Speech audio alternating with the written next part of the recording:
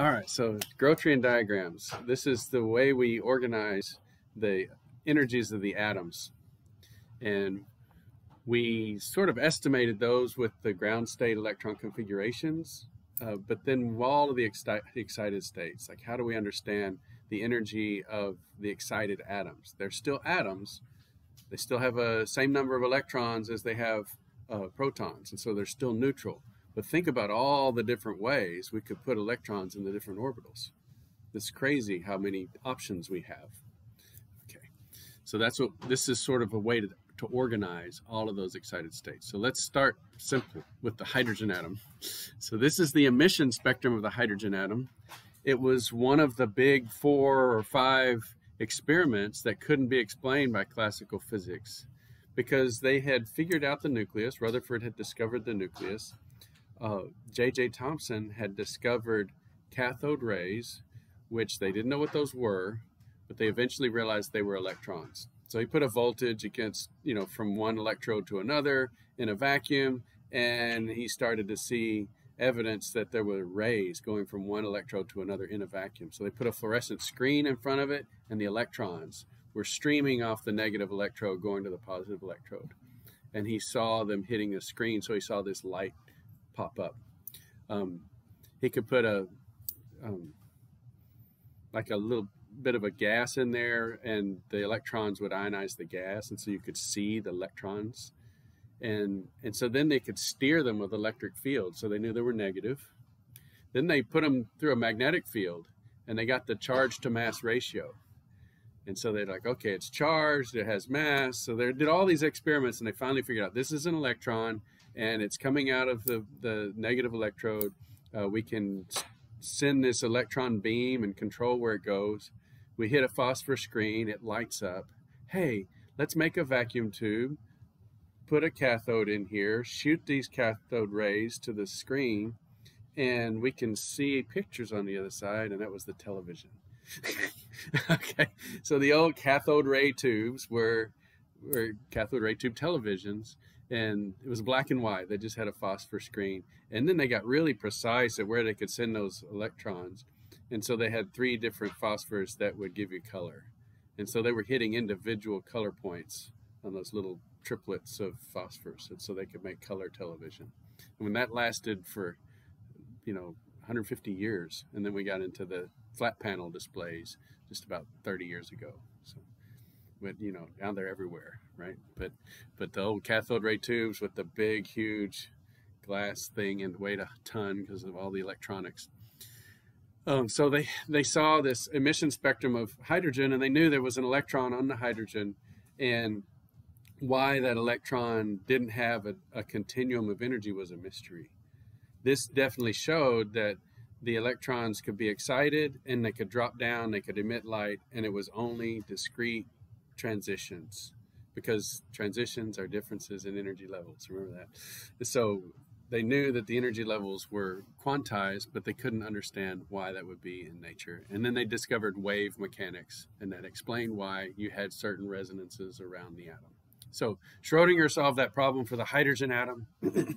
These were the fellows, Paschen, Brackett, Balmer, and Lyman, who did different papers or experiments on the hydrogen atom so they were able to discover these different lines. Now, only one of these series is in the visible range.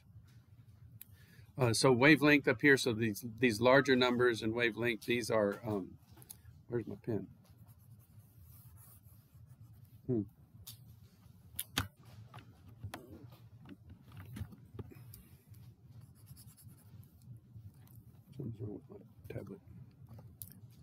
There it is, okay. So these longer wavelengths, these are in the infrared. And then these are the UV ones. so the Balmer series, three of those Balmer lines are in the visible range. And those are the first ones we saw when we did the, when scientists did the hydrogen atom experiment. Then Paschen found more in the infrared, Brackett found more even in the far infrared, and Lyman found some in the UV. So then they said, well, we can we can number these series based on this series of integers. So Rydberg put these um, integer series on here. Rydberg. but they didn't know what the integers meant. So they were able to label these, and they're like, okay, look, if we had, um, you know, all of these are from n equals 2 down to 1, 3 down to 1, 4 down to 1, 5 down to 1. So they knew that they could be labeled by this series of integers. And you could have a constant in front that would tell you the energy of the, of the spectral line. So there's the Rydberg constant, and you have the different quantum number transitions. But they didn't call them quantum numbers because they didn't know what that what those numbers meant. And so then we want to organize these. If you look at this, it's kind of organized, but they don't know about p orbitals or d orbitals or anything like that. But they do know about the principal quantum number. So this turned out to be the principal quantum number. So n, in this case, is the principal. It's AL in this case. Okay. For like top principal. LE is like a, a principle, like a statement, like a, and principal. I always think the principal means it's at the top, it's primary, and your principal, AL, is your pal. If it's a good situation, if it's not a good situation, you're not your pal. But anyway, in the best situation, your principal is your pal, and the principal is up at the top. So principal, uh, AL means the top thing. So the top quantum number is N. Now, the energy levels in a Grotrian diagram are the energy of the whole atom. I think this is a confusing point for many students. Okay, they're not the energy levels for individual orbitals. It's real easy to look at the the uh, the Grotrian diagram and think that that the 1s orbitals down here, the two the 2s orbitals here, the 3 2p is here. That's the way it works for hydrogen because there's only one electron in hydrogen. But when we go to helium and above, which is everything else in the periodic table, then each little energy level is a whole electron configuration.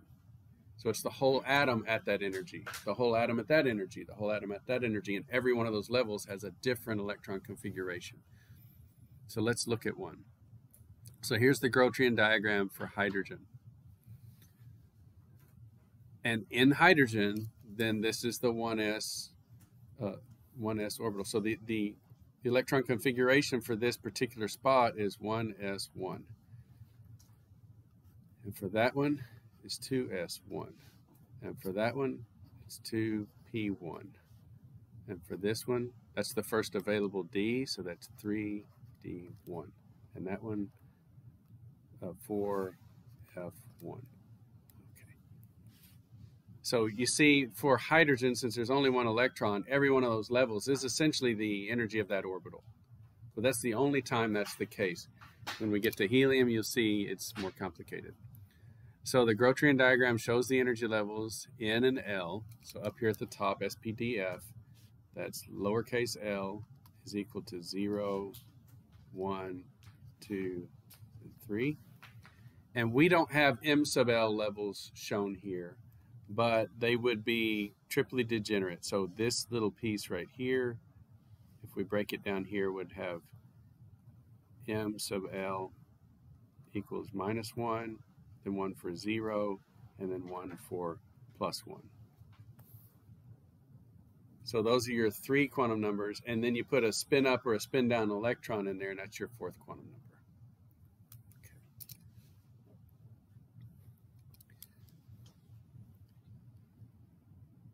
in like magnetic or electric fields, we do see differences in these, but this would be, I'll just introduce this term, hyper fine splitting. In extremely high resolution experiments, you can see these tiny doublets or triplets, and you can get some information about the M sub L quantum number. But for the most part, you just see in a low resolution experiment, you just see one peak. And inside that peak, you have three transitions for these M sub L levels. Okay. now look at the look at the arrows, the patterns of the arrows. These are emission transitions, and so uh, electrons have been stripped off the hydrogen. So you got a proton and a gas, and an electron sees that proton and then drops down into the energy levels. And they come in up here. So this is the ionization limit.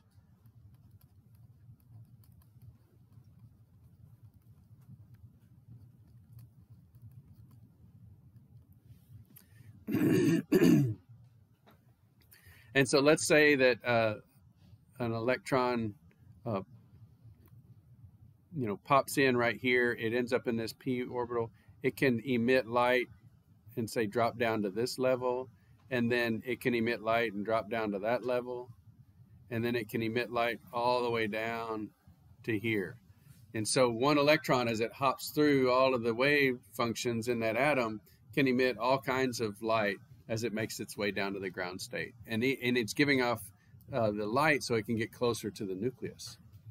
So it's hopping down, uh, it's uh, kind of like parkour, you know, it's hopping from railing to stairs to chair to the ground, trying to get closer to the nucleus. And notice there are some transitions it doesn't make. It doesn't hop straight down. Why is that? Well, if I go from the n equals 3, so the 3s down to the 2s, I haven't changed L. And L is the angular momentum quantum number.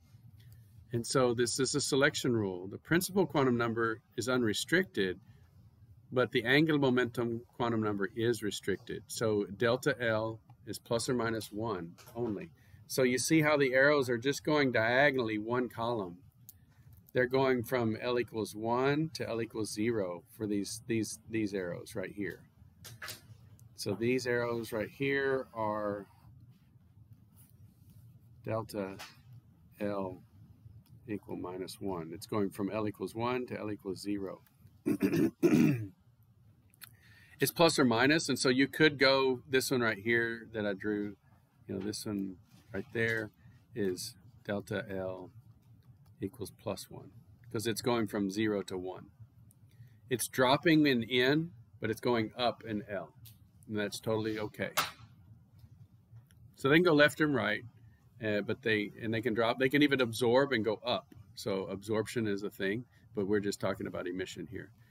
Uh, these right here, what's uh, delta L for this one? Well, it's going from 2 to 1, so it's still delta L equals minus 1. Uh, so this one is a forbidden one. I'll put a little X on it. So the one that's going straight down, I put an X on. And then this one, D, jumping past the L column and going over to S, that's also forbidden. Okay, because that would be a delta L of minus 2, going from 2 to 0. So those are like lines I could draw, but I go to experiment and they don't show up. So the, the selection rules greatly simplify the spectrum. We would see lots more lines if we didn't have that restricted selection rule. So there's a reason why the spectrum is simple, and that's the, the angular momentum, the preservation of, of angular momentum. Light has one unit of angular momentum, and uh, and it can either donate it to the atom or take it away from the atom. You know, so that's uh, that's why we have this plus or minus one for the angular momentum quantum number. So let's look at helium. Here's the Grotrian diagram from helium for helium. And look at the spectrum over here. It's much more interesting. We have a red photon or transition, a yellow, some green ones with lots of little fine lines in here, a bunch of blue transitions. So we just added one more electron and we got all kinds of new spectral lines. And, and so we have now a difference in energy in the p orbitals as opposed to the s orbitals. So the 2p and the 2s now are no longer the same energy. And we've got all kinds of, uh, of new spectroscopic information. And then we even have singlets and triplets. And we'll discuss what that is today. But we still see, notice the lines still go left or right one column. That's still the delta L quantum number. Or, or the, um, yeah, the delta L selection rule. So the ground state of helium is Aufbau-like. Do y'all know what the alpha, what that alpha word Aufbau is? That's the traditional scheme of building the electron configurations that we were using last time. 1s2, 2s2, 2p6. That's so if we wanted to write out helium, what would be the helium electron configuration? Just quickly, what's helium's electron configuration? 1s 1s2 exactly so that's the Aufbau uh, electron configuration and that's the ground state of the atom so what we did in terms of coming up with those electron configurations was the ground state of the electron uh, of the atom And so the excited states are more complicated. So here's what, so this is the same Grotrian diagram, just spread out with the electron configurations on it. So sit there and, and chew on that for a little bit. Look at, look at all of the energy levels. All of them have a different electron configuration.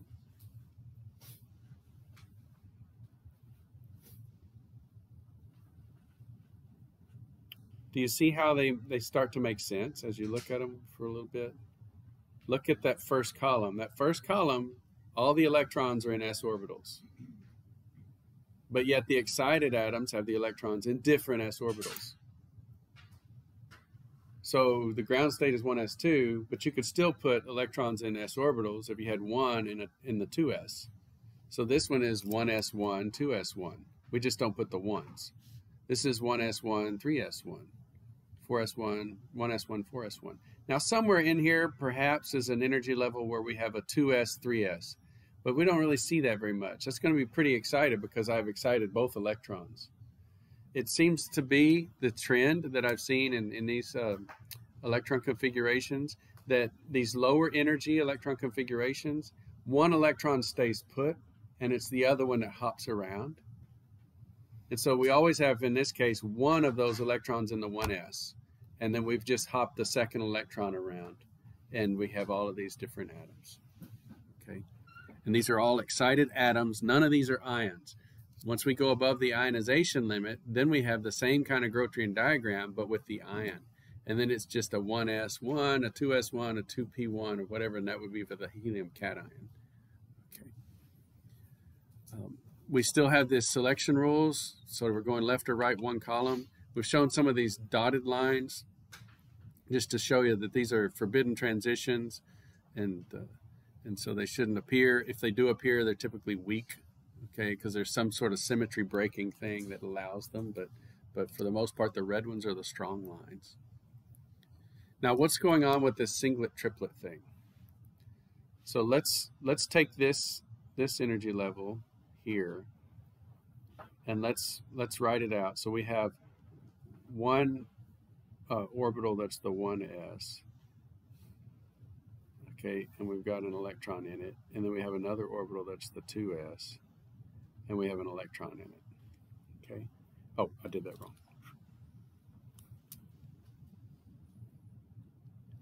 So down here we have the 1s. Oh, uh, so we have a spin up electron and a spin down electron.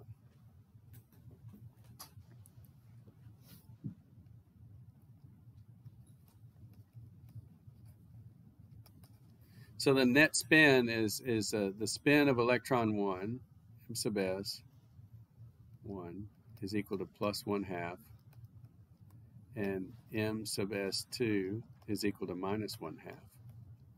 So when you add those together, the spin is equal to zero, and the multiplicity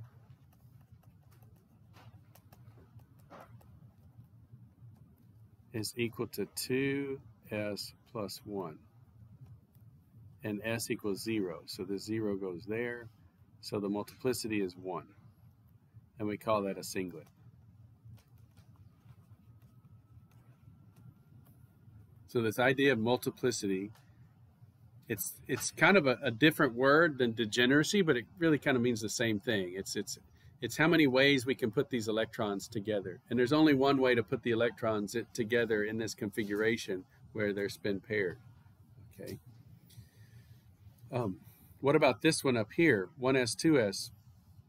What if we had these two orbitals where we had a spin up electron in the 1s and a spin up electron in the 2s?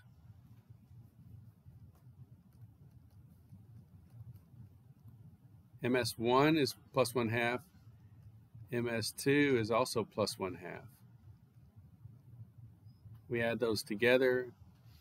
S is equal to 1.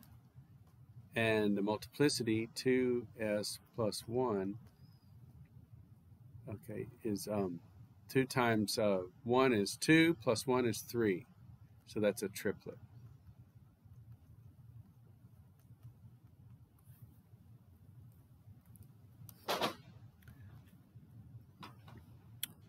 And so this is this is what we're talking about with singlets and triplets. Singlets have paired electrons. So uh, this multiplicity, one way to think about this, multiplicity minus one is the number of unpaired electrons you have. So let me just, let's write that out. Multiplicity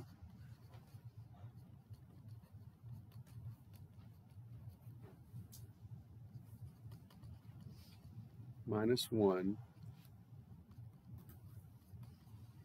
is the number of unpaired electrons. Now, in all of your Gaussian calculations, you had to put the multiplicity of your atom or molecule. You may not have understood what that was, but essentially, with all of your regular molecules, your organic molecules, or what have you, if you have zero unpaired electrons, it's a singlet. So you put zero charge, singlet, everything. You just do that all, all the time. But occasionally, you get a molecule like oxygen where those electrons are not paired in ground state oxygen, and you had to put a triplet. So this is what it's talking about. And multiplicity minus 1 is the number of unpaired electrons. So singlet, that's 1 is the multiplicity, minus 1 is 0, so 0 unpaired electrons over here. 0 unpaired electrons.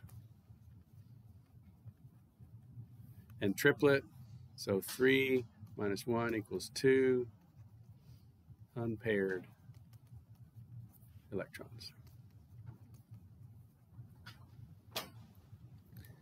So all of those on the right have the electrons all spin up or all spin down, but they're unpaired. Okay, the, all the ones on the left, the electrons are paired up, even if they're in different orbitals. So it's kind of strange. You've got one that's say down in the 1s and one that's up in the 2p or the 3d or something like that.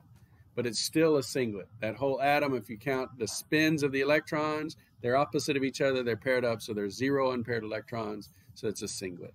And in the triplet, they can be in different orbitals, but if they're both spin up or both spin down, you have a triplet. Okay. This is helium. Does anybody have any questions or anything that I can clear up? Yes. They are forbidden transitions that might, I think they're on here because they might appear like there might be those lines in the spectrum, but they're weak typically. So because they're forbidden, and why are they forbidden? What's going on with this one right here? Notice that electron's going from the d orbital down to the s orbital. So that's a change in 2 for the for L. So delta L equals minus 2. I'll say plus or minus because it could go up, minus 2. And so uh, that's a no-no. Oops. Forbidden. And we'll see that in spectroscopy. Sometimes uh, like this singlet to triplet transition will be forbidden, but it'll happen, but it'll be weak. And we get to phosphorescence. Phosphorescence is a forbidden transition. So because it's forbidden, it takes a long time to occur statistically. Some fluctuation in the universe happens and then it can it can go. And so it leaks out. And that's why the glow in the dark stuff works. You know, that you charge up your glow in the dark Halloween cup and then you're walking around and it's still emitting light because it's been excited and it can't get back down without some statistical anomaly allowing it because it's forbidden. This is delta L equals zero, and so it's also forbidden.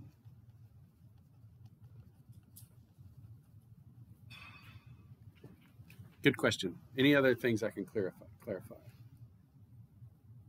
If I took all of these electron configurations off of this chart, you should be able to put them back. Okay. And it seems daunting right now, but study it, it's not that bad. You have the columns. So that first column above the 1s2. And notice down here we've got a little key, 1s1, ns1. So if you've got this little key, can you figure out how to do this whole column? So the second n could be equals 1, so then it would be 1s2.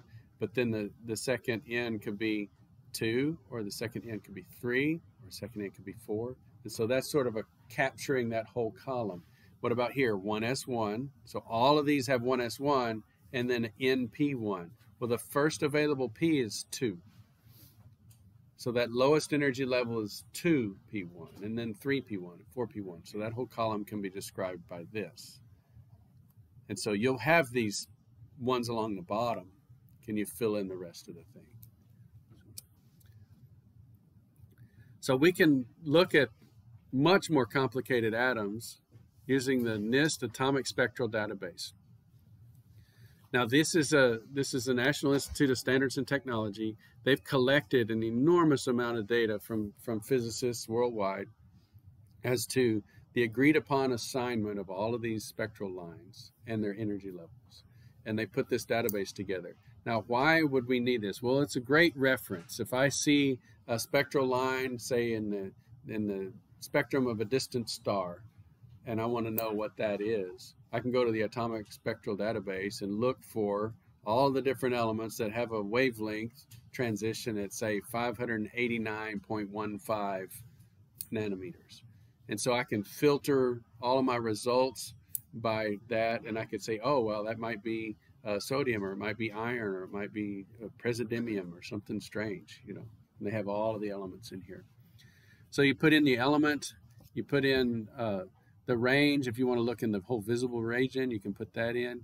You could do units in nanometers or wave numbers, etc. You could hit retrieve data, and it'll give you a table. Um, you could make a Grotrian diagram, and I put may not work. Sometimes it doesn't work. This year it seems to be working. You could have it produce a stick spectrum. Uh, I don't know what the Saha LTE is, probably the, the scientists that built the, the tool. Uh, but anyway, it's the, it's the stick spectrum. Um, you can uh, give it an electron temperature.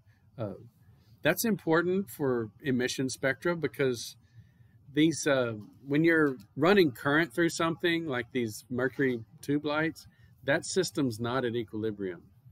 You're running current through it.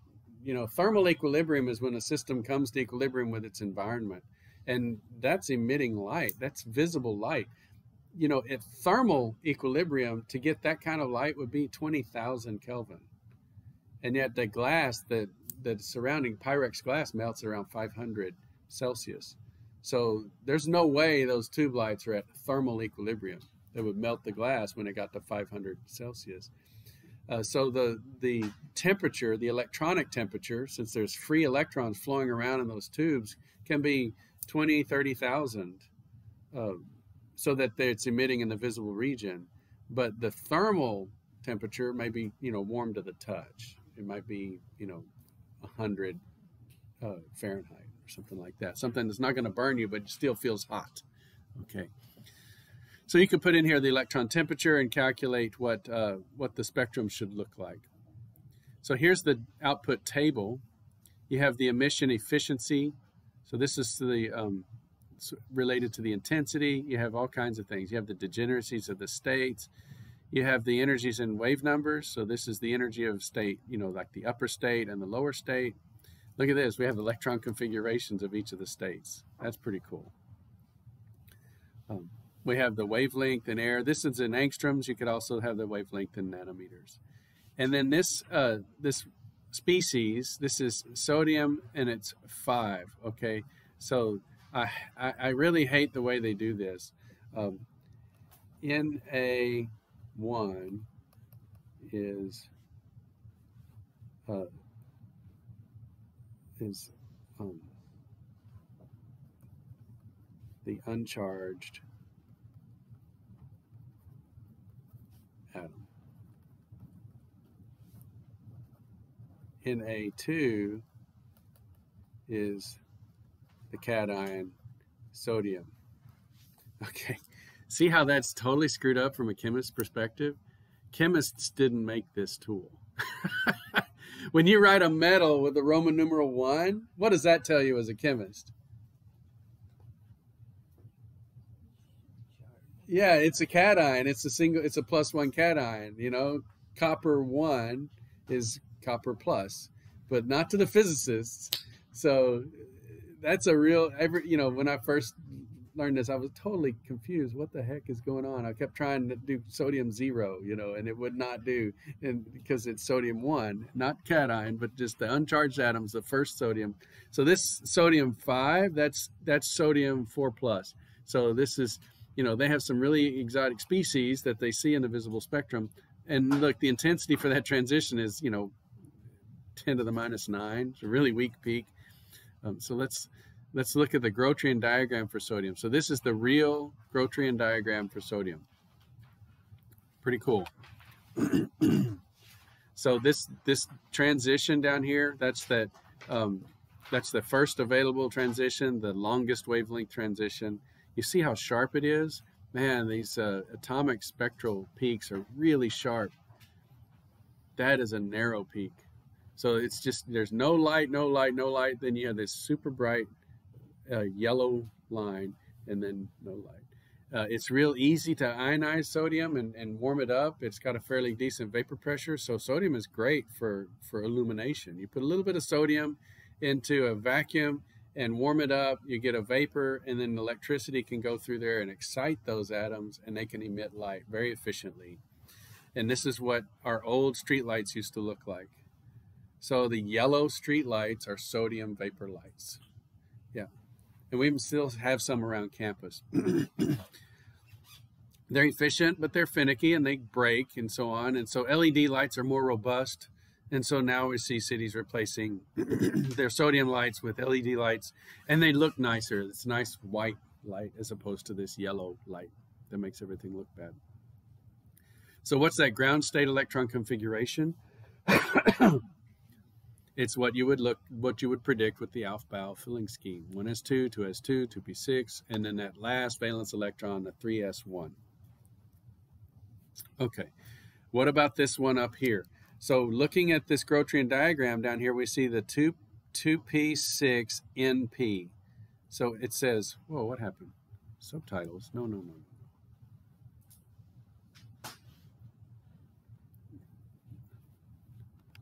no. How do we get out of this? Okay. All right, so then that's the NP1 right? So the first available p orbital, if we look at sodium, there's sodium. It's not going to be the 2p one because the 2p orbitals are already full. So what's the next open p orbitals?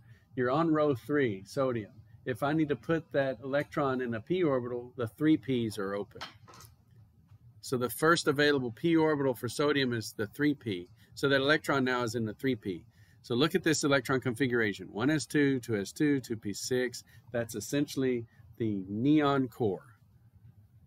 And we're just moving that last electron around. So it has the neon electron configuration plus this extra electron that's hopping from the 3s to the 3p.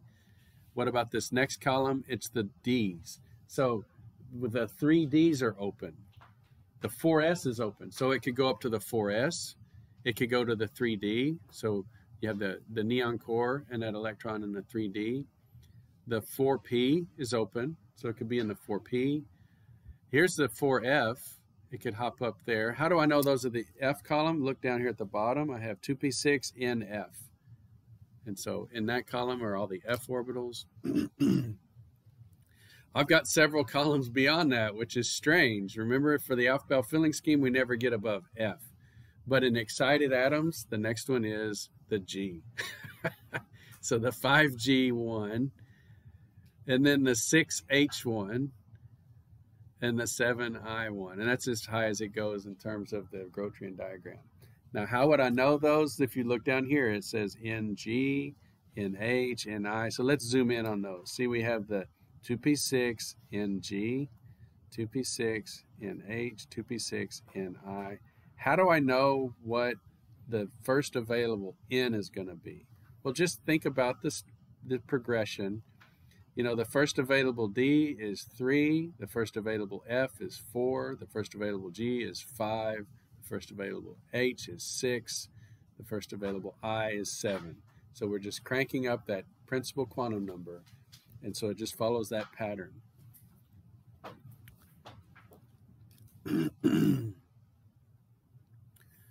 Any questions for this one? This one's kind of easy because we just have one electron popping around. It's going to be a 4F1 or a 7I1. And so it's it's easy to think about that valence electron hopping around. We're going to do mercury next. So make sure you understand sodium. Anything I can clarify? Okay. So now for Mercury, this one breaks my brain a little bit. Here's the sodium light compared to the Mercury light. Um, your eye fools you when you look at Mercury lights. Uh, these are actually Mercury lights, the fluorescent lights that we use. It doesn't really look green in here. Okay. Um, but a mercury vapor light, when it first starts out, here's your spectrum. It has a red photon, which is, you know, 600 and, you know, a little bit higher than 600 nanometers. It has a green photon around 540. You know, that's light coming out. These are the spectral lines for mercury. It has a blue and red, green, blue. Hey, that's that's white light. So I can look at that. My pigments in my eye are really broad broadband pigments. But this narrow line will excite those pigments in my eye, and my eye thinks I'm getting all the wavelengths of light when I'm really getting very specific wavelengths of light. So my mind sees white light, even though I'm getting really narrow lines of light. Um, I noticed when I was in high school, I was a photographer for the yearbook. I'm taking sports pictures in the gym, volleyball, um, and these mercury lights flash you don't really notice, but they flash. They they build up the charge and it sort of flashes across. And I'm taking pictures of volleyball, and all my pictures come out and they're kind of green. My eye interprets it as white light because of the pigments in my eye, but the camera element and the film really saw more of that green photon. It was the strongest photon in the picture. So all my pictures kind of looked like it was taken through a green filter. And I got the coolest picture of one of the spikes the girl was coming down, and because of the flashing lights, her arm was like tink, tink, tink, tink, tink. It was like five little ghost images of her arm striking the volleyball. I was like, oh, it's the greatest photo ever. Okay. And then we have yellow photons, and then we have blue green photons. So that's the emission spectrum of uh, Mercury. Let's look at the electron configurations. Now, Mercury ground state if you find Mercury there, it looks pretty easy because it's a D10. So it's got the xenon core. All right. Then we're on the sixth row. So it's 6s2. Then we have the, the four Fs, and we're past the four Fs. So that means we have 4F14. We filled in all of the seven orbitals, the F orbitals, there's seven of those, and two electrons each. So there's 14 in the F subshell. Then we go across the Ds, and that's the 5D block. So scandium was 3D, yttrium was 4D. We're on the lanthanum row, so that's 5D. So 5D, we filled up all five of those orbitals with two electrons each. There's 10. So 5D 10.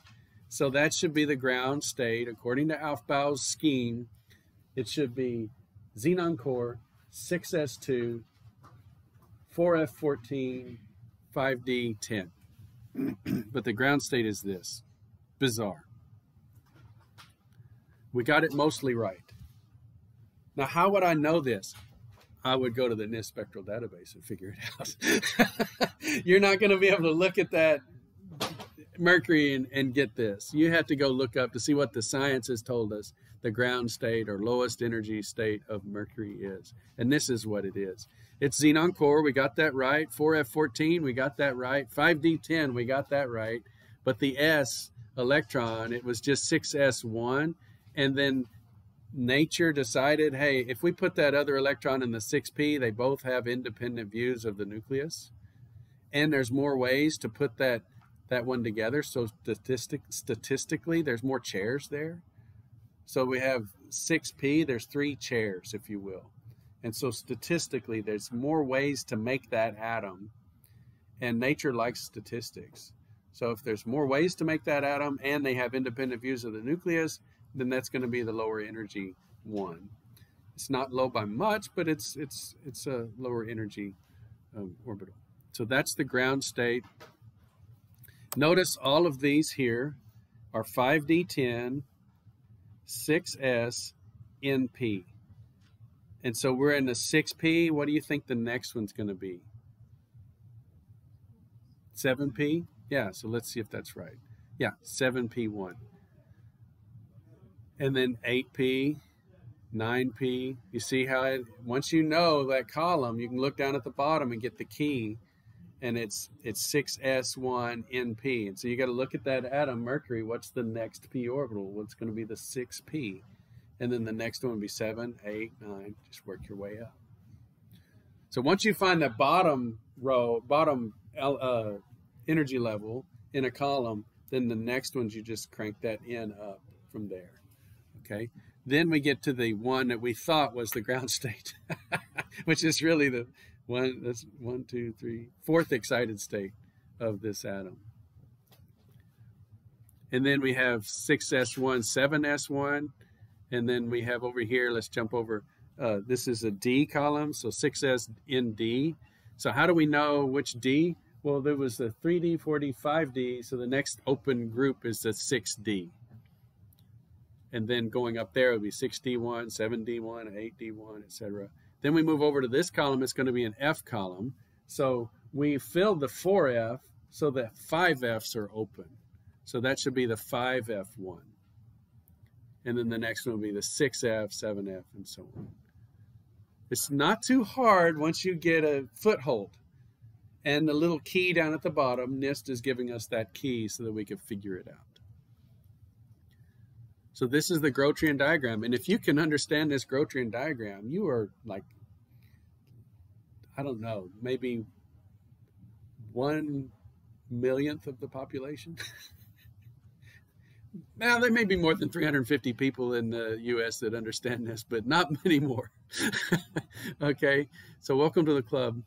Uh, this is great stuff. so here's the simulated spectrum of the mercury that SA the Saha LTE line plot for mercury. And this is showing the ions. The, the black lines are for the neutral mercury. So that's for mercury. I'll go ahead and put zero up there for the charge. And this is for um, mercury cation.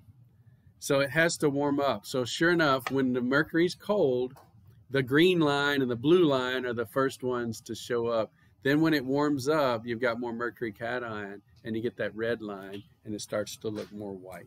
And so cold starts of mercury lamps should appear, appear blue-green first, and then they start to warm up and you get the red and, and uh, of the mercury cation.